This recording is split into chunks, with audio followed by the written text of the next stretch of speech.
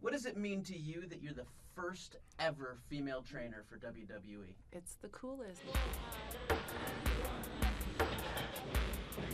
It means a lot because for me, I just loved wrestling and just worked really hard. I never obviously imagined this would be possible. So to just see all your hard work pay off and get to do what you love is pretty cool.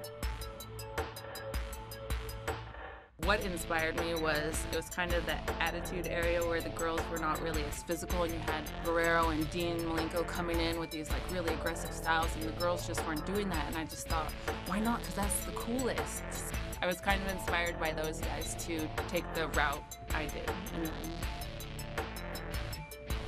it's evolved in terms of like changing with the time, but the actual like ring work is pretty much still the same. And the girls just have like a different aggressive style that they've kind of stayed true to the whole time. Girls just fight different, and I think from Moolah's day to now modern day, it's pretty much stayed the same. It's just changed with the times and has different themes.